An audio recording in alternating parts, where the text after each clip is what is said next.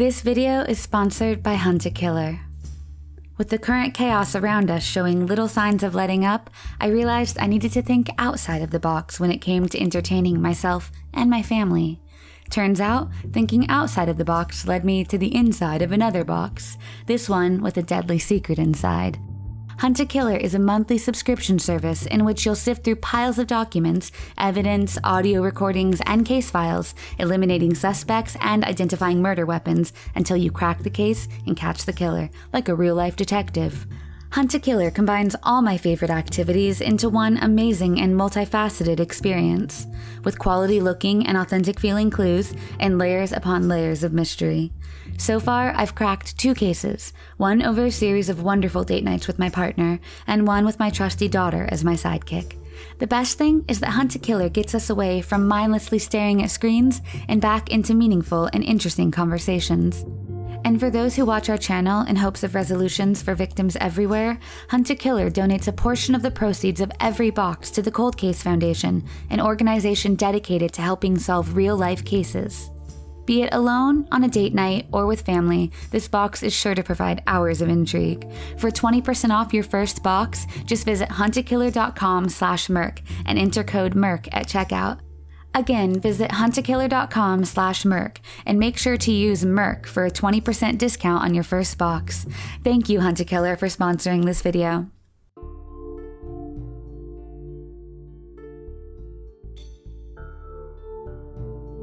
Denise Pflum was an 18 year old girl living with her parents, Judy and David, and her younger sister, Jenny, in Connersville, Indiana.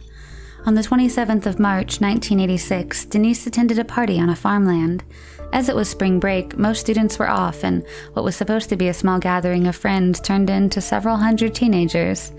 Denise returned to her house that night, but would forget her purse at the party. The next day, on the 28th of March in 1986, Denise left her home to retrieve her purse from the farmland. She'd asked her friends to accompany her, but they were busy. She also asked her sister, but she couldn't accompany her as she had softball practice, so Denise decided to go alone. She was not carrying her identification or the carrying case or cleaning solution for her contact lenses when she left her home that day. She would never return back home. Her mother Judy later said, We're not sure why she didn't want to go alone. She was fearless ever since she was a child, so for her to be uncomfortable to go back to the site of the party is unnerving. Something wasn't right. The owner of the farmland said Denise never arrived at his property. A friend had reportedly seen her at 2 p.m. at the Fashion Bug Store on 30th Street. Later that day, a distant cousin of Denise's, who had gone to school with her, returned her purse to Judy. When Denise did not arrive back home by that evening, her parents reported her missing. The following day, Denise's cream colored 1981 Buick Regal was found by a farmer alongside Tower Road, a rural gravel road east of Glenwood, Indiana. He stated that the car had been there since between 12:30 p.m. and 1:15 p.m. the day she went missing.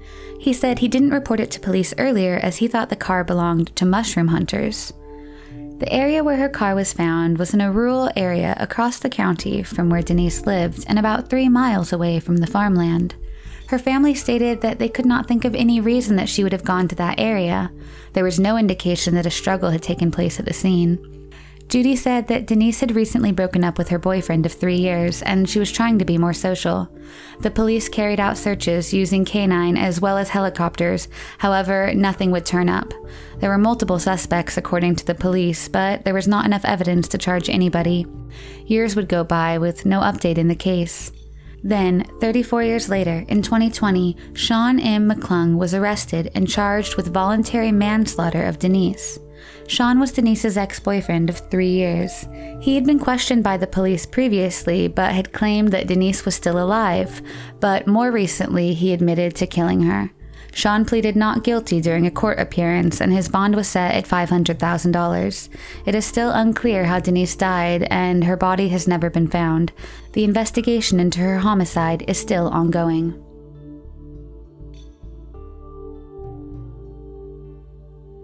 Esther Lucille Westenbarger was a 51 year old woman who had just recently moved to Kokomo, Indiana from Fostoria, Ohio to be closer to her family. She had just gotten a hefty buyout package from Chrysler and was looking to enjoy some time with her family. On November 12, 2009, she went out with some new friends at Hosier's Bar. She parked her gold 2005 Cadillac CTS, bearing Ohio personalized registration plate Ms. Esther, at the bar. She then walked to Miller's Tavern in the area. At around 1:30 a.m., she left the bar and walked on foot towards her car. This was the last time she would ever be seen. The next day, Esther had planned a surprise party for her mother, who was turning 73 on November 14th. However, when the family tried calling her, they could not reach her ahead of the party. They visited her home, but no one was there. She was eventually reported missing. Police launched a search investigation and found that her car was missing as well. The people with whom Esther was bar hopping with were questioned, but to no avail. There would be no updates or any leads in the case for 11 years. Then, on June 17, 2020, Howard County 911 Dispatch Center received a call from a local fisherman stating that they believed they saw a car covered in algae at the bottom of a retention pond. The police pulled out the car from the pond and found human remains inside. The vehicle was identified as a gold 2005 Cadillac CTS bearing Ohio registration plates Ms. Esther. An autopsy performed by a forensic pathologist confirmed that they were the remains of Esther Lucille Westenbarger. Foul play is not suspected in her death, and it is believed that Esther had too much to drink and accidentally drove her car into the retention pond.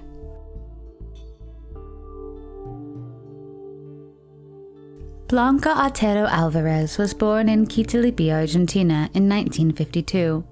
Both her parents were Spanish, and in 1973, her and her two brothers, along with their parents, would move back to Saelices de Sabero, Spain. Blanca was working as an elementary school teacher in Argentina when she moved to Spain. However, she would have a hard time finding a job as a teacher in Spain, so she decided to change her career and moved to the city of Leon, where she found a job in Renfe, a railway company in Spain. She would visit her family regularly at their family home, but sometime in 1995, Blanca, then 43 years old, would disappear and never return to her home in Leon. When her family didn't hear from her for a few days, they decided to visit her home in Leon. When they arrived at her apartment, they couldn't find her. They asked her friends and colleagues, but no one had seen her. She had left behind all of her belongings in her apartment. However, the family wouldn't report her missing until two years later, in 1997. According to one of her brothers, she was not reported missing because their father, quote, didn't want to report her missing. Shortly after she was reported missing, the police located her to be living in Gijón. However, Blanca did not want to contact her family, and as she was an adult, the police could not force her to get in touch with her family. Her mother and the two brothers decided to visit her in Gijón. They found out where she was living, but when they arrived at her apartment, she was already gone. The family would not hear from her for the next eight years. Then, in 2005, Blanca would send a letter to her family with a current photo of herself. In the letter, she said that she was fine and asked for her father to forgive her for leaving. She also wrote that someday she would get in touch with her brothers. Her father would pass away a year later in 2006. Her family hoped that she would get in touch with them soon, but years would pass and they would hear nothing from her, leading them to believe that she may have died. In 2013, one of the brothers found a police sketch of an unidentified middle aged dead woman found on Camello Beach, Santander. The unidentified woman was known as La Dama di Camello and was found in 2001. The family believed the woman to be Blanca, however, a DNA test ruled her out. To this day, La Dama di Camello remains unidentified. In September of 2020, a 68 year old woman named Eva was reported missing in Pola de Siero, Asturias, Spain, by her neighbors after not hearing from her or seeing her for a few days. The police tried ringing Eva's doorbell, but no one answered. The door was locked from the inside, indicating that the woman was in the house. They finally broke into the house to find Eva sitting on the floor, unable to move due to a problem in her legs. She was conscious but extremely dehydrated and disoriented. She was transferred to a HUCA hospital. In the meantime, the police tried finding her family to let them know of her condition. However, to their surprise, the identity by which she was known among the neighborhood did not coincide with the data that appeared both in the address and in the HUCA database. Her identity was found to be fake, and her true identity was revealed to be Blanca Otero Alvarez. Blanca had been living in Pola de Siero for years under the name Eva. She had made money by babysitting, taking care of pets, and house cleaning. In the recent years, her health had been deteriorating. Blanca's family has been contacted. Blanca's mother is now 90 years old and lives in a nursing home in Gijón. No information was given on why she initially disappeared or the motivations behind her eluding the grasp of her family for so many years.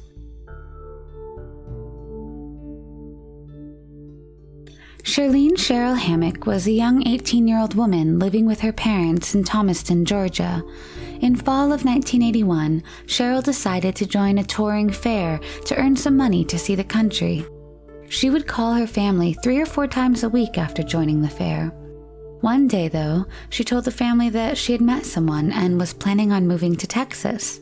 She said she would return at Christmas and that they should leave a gift for her under the tree.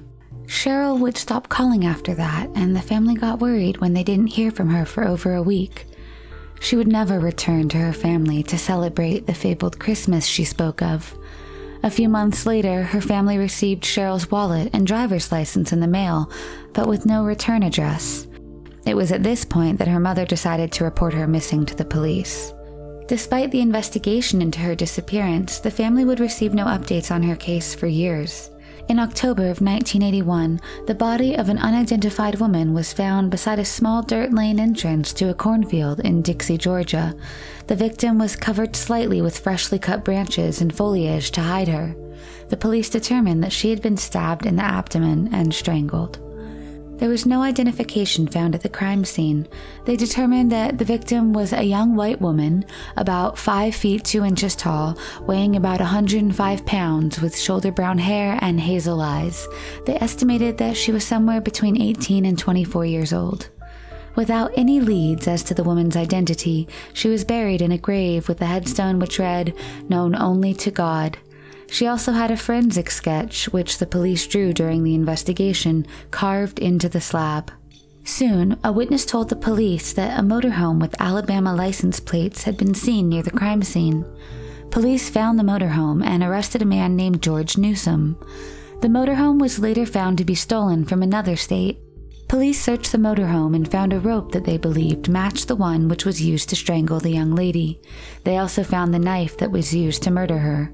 Initially, George refused to cooperate with investigators and said he had nothing to do with the murder.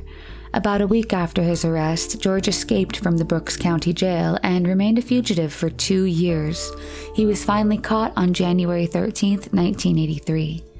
Upon his recapture, he confessed to her murder but did not disclose her identity. George said that he had met the woman at a traveling fair in Tallahassee, Florida. He said that he had argued with her about another man and killed her in Quitman. He pled guilty and was sentenced to life in prison.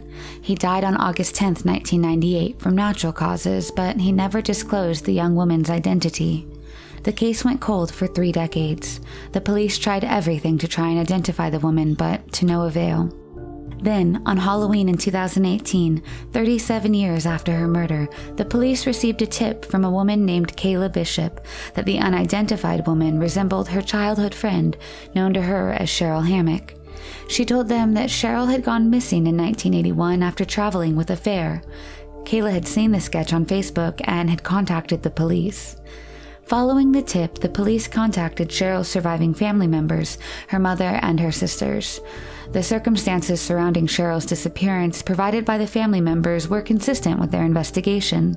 The victim's body was exhumed and an extensive DNA test was done for over one and a half years against the samples provided by Cheryl's family members. On January 9, 2020, the unidentified woman was finally confirmed to be Shirlene Cheryl Hammack. The case was finally solved after 37 years, and her family could finally get some closure. Billy Fiegener was just 22 years old when he went missing. Born in Brooklyn, Billy had been getting into serious trouble living there. In 1984, his parents decided to send him to a horse ranch in California, owned by a former neighbor, in hopes of separating him from bad influences.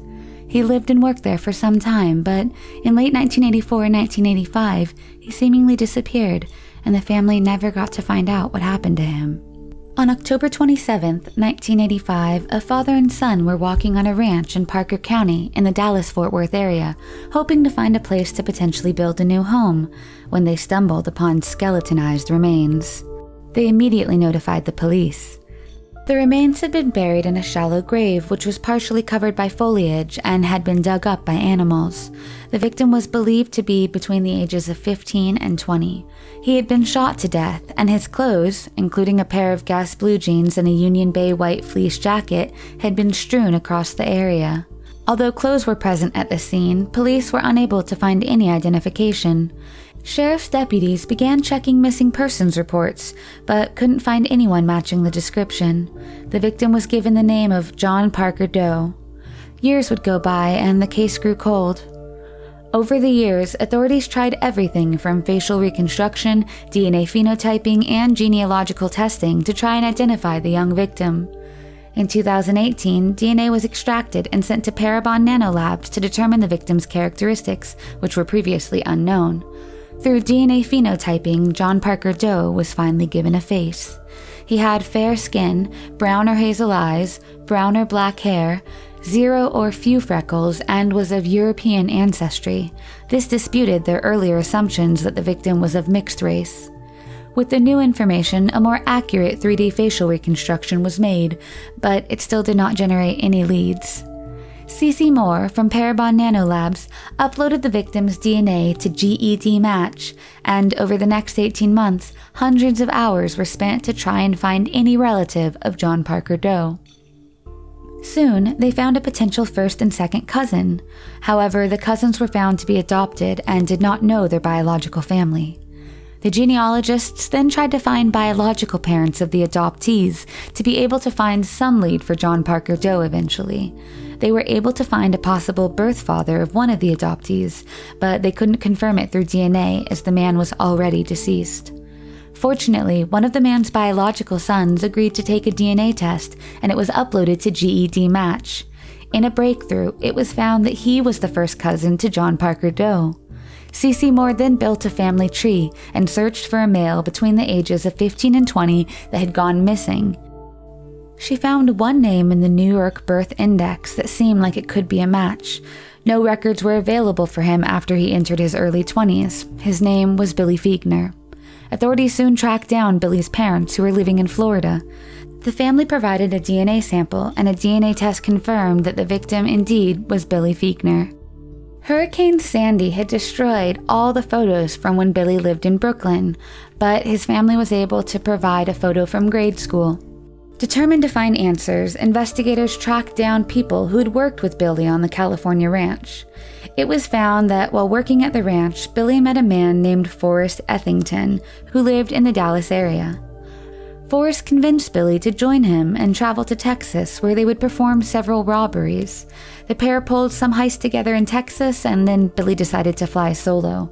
However, Billy got caught and was set to go to court for the robbery. This worried Forrest because Billy might turn on him and reveal his robberies as well. Forrest then told a witness that he was going to try to kill Billy to silence him. Forrest then went to a remote part of the Texas ranch and shot Billy once in the back of the head.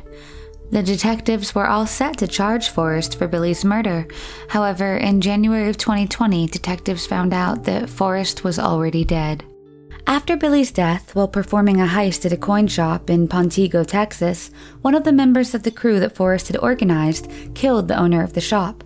The FBI caught Forrest after he tried to sell the coins at a coin show. Forrest served five years in jail for the crime before appealing in 1991. In 2010, he was again arrested, this time for aggravated assault of a person under 18. He died in prison in October of 2019.